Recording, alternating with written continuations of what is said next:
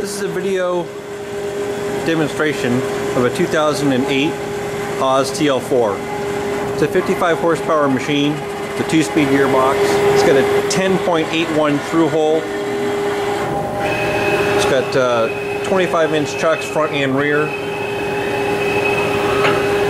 We're running the spindle right now at 50 RPM, just cycling the axes. It does have the tailstock.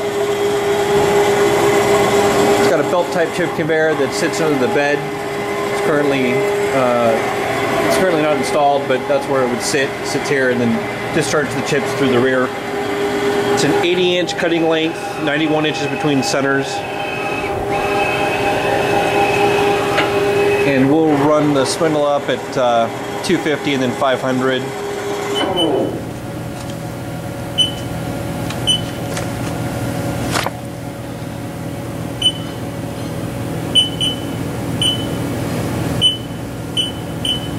This is 250 RPM.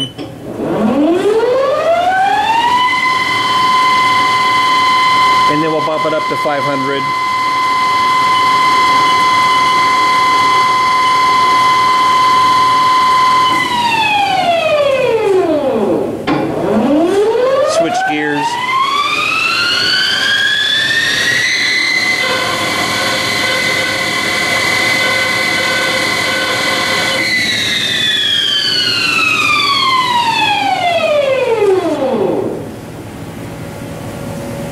We'll just do a quick walk around the machine. Here's the keypad monitor.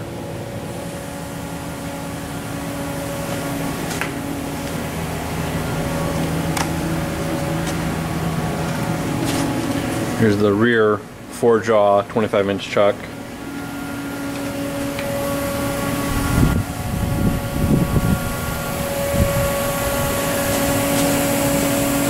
Peek inside the cabinet.